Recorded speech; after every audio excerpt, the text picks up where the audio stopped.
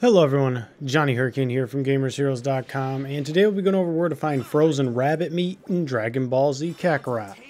Let's get started. Head to the world map and then go up to Darling Polyanya, the ice place up there, whatever it's called. From there you want to just basically fly around the area of the lake here, in the woods, up in the mountains, and what you're looking for is these chunks of ice. Uh, this guy right here says there's frozen rabbit meat inside of it.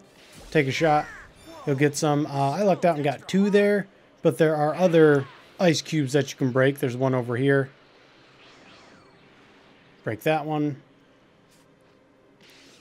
And if you go up a little further, there is even a third one, but you only need two pieces, so this is all you really need.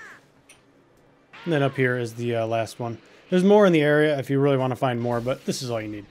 Return to Chi Chi, and you will complete the quest. Alright, that'll do it for me. If you liked what you saw and got what you needed, like, comment, subscribe. See you guys in the next video. Later, Gators.